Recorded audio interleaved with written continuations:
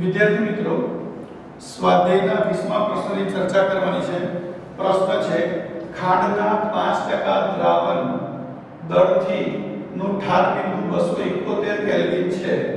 જો શુદ્ધ પાણીનું ઠાર બિંદુ 273.15 કેલ્વિન હોય, તો પાણીમાં 5% ગ્લુકોઝ ધરાવતા દ્રાવણનું ઠાર બિંદુ બનો. આ 5% પણ દળથી છે.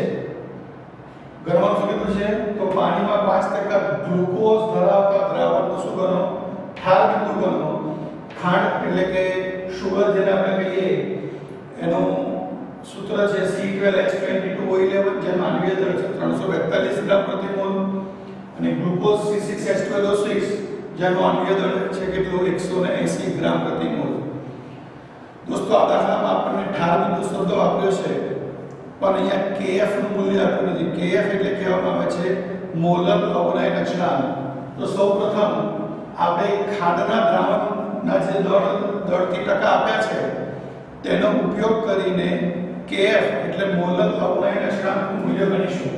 તો અહીંયા kf નું મૂલ્ય કેવી રીતે ગણીશું? વિદ્યાર્થી મિત્રો, તે ગણવા માટે શું કરીશું? તો આપણે જાણીએ છીએ કે કેટલા ટકા આપ્યું છે? ખાંડનું પાંચ ટકા દરથી. ખાનું કેટલા ટકા દરથી? પાંચ ટકા દરથી. તો આપણી પાસે સૂત્ર છે, ડેલ્ટા ટીએફ બરાબર ઇન્ટુ એમ. ડેલ્ટા ટીએફ એટલે ઠાર બિંદુમાં થતો ફેરફાર, કેએફ એટલે મોલર અવયણક્ષણાંક અને એમ એટલે મોલાલિટી હવે, અહીંયા કેએફ મોલારિટી જગ્યાએ શું થાય? 1000 ગુણ્યા W2 છેદમાં M2 W1 અને ડેલ્ટા TF ને કહીશું TF0 TF TF0 એટલે શું? શુદ્ધ દ્રાવકનું તાપમાન અને TF એટલે દ્રાવકનું તાપમાન. હવે આપણે અહીંયા કયા કયા મૂલ્ય આપે છે? તો TF0 આપી દીધા છે. TF0 કેટલા છે? 273.15 કેલ્વિન TF કેટલા છે? 271 કેલ્વિન KF શોધવાના છે દોસ્તો. W2 5% એટલે 5 ગ્રામ લેવાના. M2 ખાંડ એટલે કે શું કેટલા લઈશું 342 ગ્રામ પ્રતિ મોલ અને W1 W1 એટલે દ્રાવણનું દળ એટલે 5% દળ, ટકા કેટલા તેના 100 તો W1 નું મૂલ્ય કેટલું થાય? 100 ગ્રામ. આ બધી કિંમતોને આમાં મૂકો અને KF શોધી કાઢો. તો શું થશે અહીંયા દેખો અહીંયા આવું થશે. 273.15 minus 271 is equals to kf into 1000 into w2 કેટલા છે દોસ્તો? 5 છેદમાં કેટલા? 345 ગુણ્યા 100 આ બે બે જીરો કેન્સલ થઈ ગયા. આ બેનો તફાવત કેટલો આવશે દોસ્તો? તો 2.15 345 ને ગુણી કાઢો. ભાગ્યા શું થશે? 10 ગુણ્યા 5 એટલે 50 આ રીતે તમારા kf સમજ પડી? kf નો એકમ શું છે તો ડિગ્રી સેલ્સિયસ કિલોગ્રામ પ્રતિ મોલ અથવા કેલ્વિન કિલોગ્રામ પ્રતિ મોલ એટલે ખાંડના દ્રાવણ પરથી આપણે શું કોનું મૂલ્ય નીકાળ્યું kf નું હવે ગ્લુકોઝના દ્રાવણ માટે ગ્લુકોઝના દ્રાવણ માટે એ પણ કેટલા ટકા આપે છે 5% દળથી તો પાછું સૂત્ર અનુવાર્યું છે ડેલ્ટા TF બરાબર શું KF m પાછું અહીંયા લખશું TF0 TF is equals to KF molarity માં શું લખશું 1000 W2 છેદમાં M2 W1 ઓકે TF0 આપણી પાસે આવી ગયા છે કેટલા 273.15 કેલ્વિન હવે TF શોધવાના છે KF શોધી કાઢે KF કેટલા આવ્યા 2.15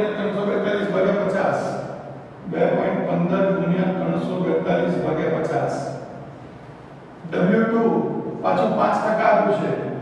એટલે 5 ગ્રામ. M2 હવે આપણે જે ગ્લુકોઝ, એટલે ગ્લુકોઝ પણ રિઝલ્ટ લેવાનો.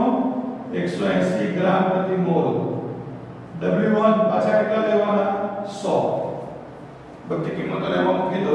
તો શું થશે? 273.15 minus TF is equals to KF નું મૂલ્ય કેટલું છે? 2.15 ગુણ્યા 342 ભાગ્યા 50 ગુણ્યા 1000 ગુણ્યા W2 કેટલા છે 5 ભાગ્યા M2 કેટલા 180 ગુણ્યા 100 હવે બે જીરો કેન્સલ થઈ ગયા ઓકે અહીંયા શું થશે આ 50 50 પણ કેટલા થવાના કેન્સલ આ બેનો ભાગાકાર કરો દોસ્તો તો શું થાય 273.15 tf ઇઝ ઇક્વલ્સ ટુ શું થશે તો 2.15 ગુણ્યા 342 ભાગ્યા 180 તો જવાબ આવ્યો 4.085 હવે આને આમ લઈ જાઓ અને tf નું લેવલ લઈ જાઓ તો શું થાય તો therefore tf બરાબર 273.15 4.085 કરો બાદ બાકી તો 273.15 4.085 બાદ બાકી કરતા મળશે શું 269.065 કેલ્વિન આ આવી ગયું શું ગ્લુકોઝના દ્રાવણનો ઠાર બિંદુ કેટલા ટકા 5 ટકા દરથી તો ફરીથી દાખલો સમજીને દોસ્તો શું કર્યું પહેલા ખાંડનું 5 ટકા દરથી દ્રાવણ આપ્યું હતું તેની અંદર સૂત્ર આપણે ડેલ્ટા ડીએફ બરાબર kf into m delta DF ને કહેવાય df0 માઈનસ tf tf0 હતા 273.15 tf 271 આપેલા હતા kf નતો w2 5 m2 345 કારણ કે ખાંડ છે અને w1 100 મૂકીને શું સુધી કાઢ્યું kf આ kf નું મૂલ્ય મેં અહીંયા યુઝ કર્યું આમાં tf0 હતા હવે tf શોધવાના છે પાછા w2 5 m2 180 કેમ ગ્લુકોઝ છે અને w1 કેટલા 100 મૂકીને સાદું રૂપ આપીને મને મળી ગયા tf ઓકે ફ્રેન્ડ્સ તો આ રીતે દાખલો કરવાનો છે દોસ્તો થેન્ક યુ વેરી મચ